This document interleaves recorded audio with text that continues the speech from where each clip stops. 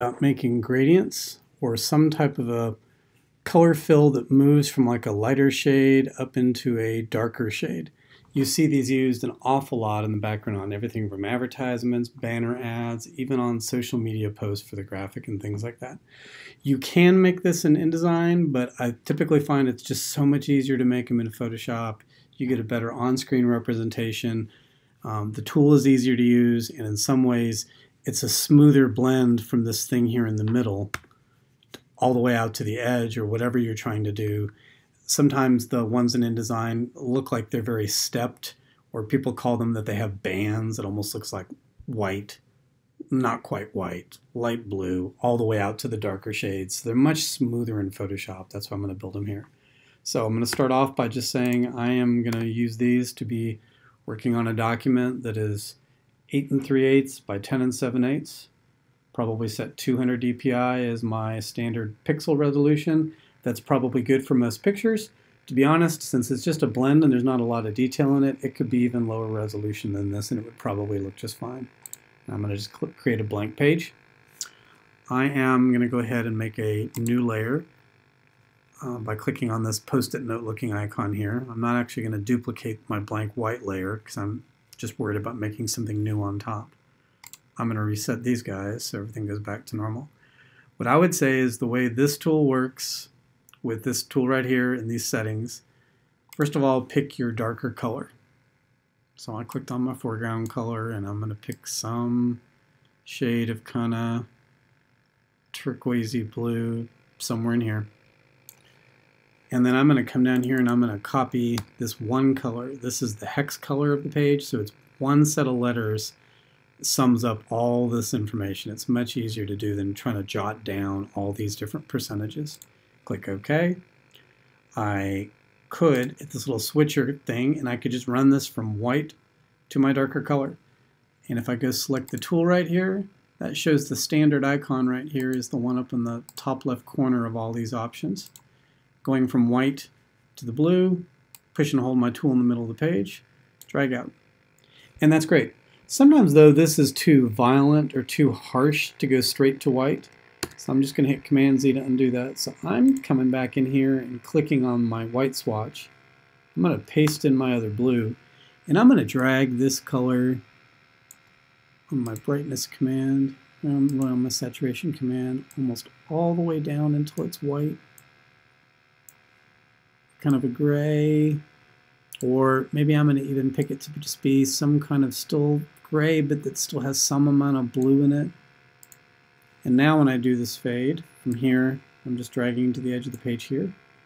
It looks like that. It's probably a little bit more realistic, a little bit more subtle too. I'm going to go back to the much lighter color. Just going to cheat, just type in a different percentage here.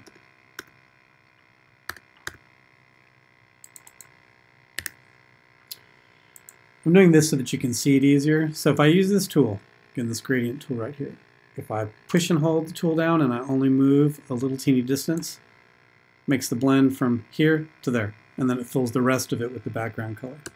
If I grab it from here and I just pull it to the short side of my document, again, it's still making kind of a small ball. I think what most people probably have you do is start about in the middle, but you don't have to be exact, and drag to like a corner, and that'll be kind of a smooth transition from this on out. If you want it to go even more though, I could drag it off the page. And that's going to increase the size of the light area because technically the darker is not going to happen till out here, which isn't even on my page, so it won't be part of it. So again, small movement gets me that. Huge movement, pretty much the whole page is that lighter color. Here to like a corner gets me that. Um, so now all I have to do is just save this as a Photoshop file blue. And then I can import that into InDesign or Illustrator or anything like that. If for some reason I wanted to come back to it though or experiment, maybe I don't know if this is the right shade, or I was thinking maybe blue, maybe green, maybe purple, I could pull down and duplicate that layer. If I wanted to, I could go back and delete everything on that layer, reset new colors, and start from scratch. But what a lot of people do is they tie this to the hue saturation tool. So I'm going up to Image, Adjustments, Hue Saturation. So I'm on my top layer here. If I look at this little picture and if I slide it to the left, it's going to make it different shades of green. I'm going to go back and reduplicate the blue again. I'm going to hide the green one. I'm going to go back up to the shortcut for Image, Adjustments, Hue Saturation. I'm going to take this one and I'm going to slide it more into the purple realm. And actually, I'm going to go ahead and do some weird trick. I'm going to leave these three options all together in the same file as different layers. I'm going to quickly go to InDesign. Here's a page. I'm going to go up to File and I'm going to pull down to Place. Navigate to find my document. Click it. To the page. Perfect. Um, or, I guess, perfect now. And if you wanted to mess around with this, though, there's this neat feature. I could go up to File and I could go back down to Place, but I can turn the Show Import options on which we normally don't want to use because it's too much information, but in this case with layered files it can be quite handy.